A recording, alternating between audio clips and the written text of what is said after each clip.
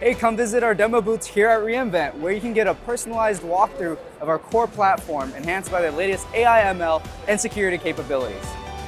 You can dive deep on specific products and topics like Cloudcraft or serverless, or visit our Ask the Experts booth.